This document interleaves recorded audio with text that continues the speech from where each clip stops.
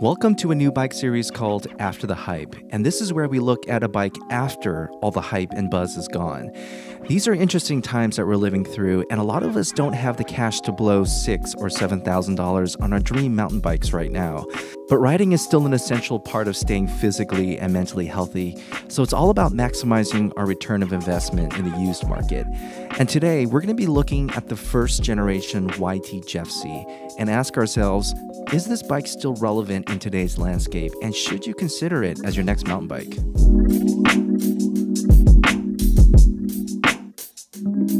First generation YT Jeffsy was released in April of 2016 with a production run of about three years. While the idea of a 29er trail bike is extremely common these days, back when this bike was released, 27.5 was all the rage. So a lot of people were scratching their heads when this bike came out.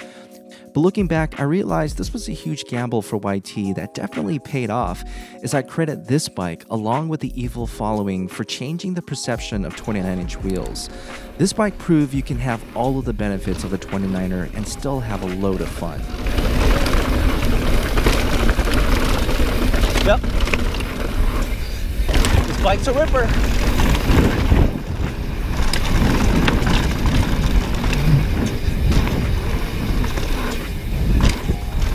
And fun is the best way to describe this bike.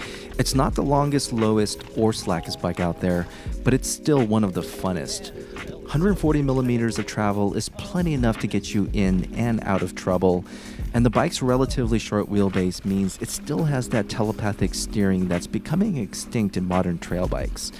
When it comes to climbing, this bike has a familiar Horst link rear suspension, which is the most common open source design out there.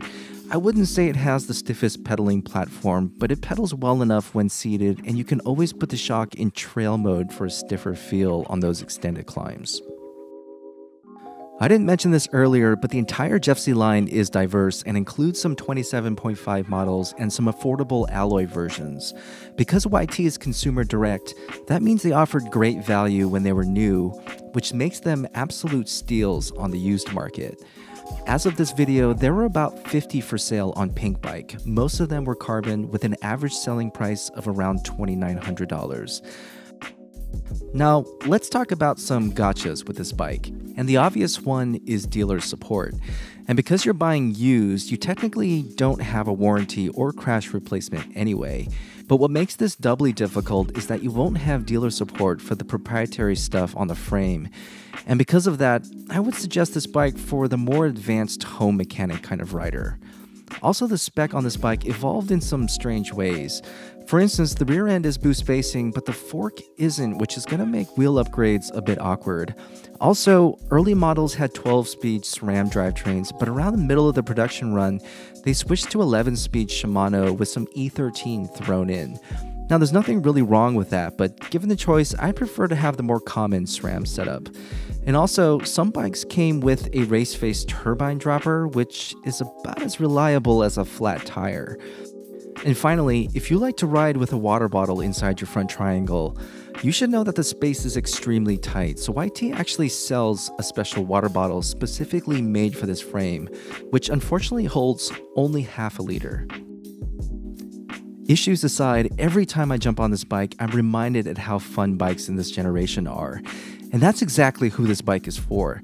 This bike is for somebody who thinks today's bikes in this travel range are too heavy and just feel sluggish, especially in the corners. The suspension feel is bang on too, with just enough feedback to keep you engaged, yet able to soak up the big bumps when needed. This Jeffsy really wants to get off the ground too, which adds to its playful nature, especially with a decent sized volume spacer in the rear shock. While the geometry numbers may look strange by today's standards, trust me when I tell you, the numbers will be the last thing you think about when you're riding this bike. A buyer for this bike is also somebody looking for a terrific deal, maybe as a second bike for themselves or significant others to get them into a really capable yet still fun trail bike. So there you have it. If you found this series useful, please leave a comment below and let me know which bike you'd like me to ride after the hype. Thanks for watching, and remember, those trails don't get easier, you get better. We'll see you on the next one.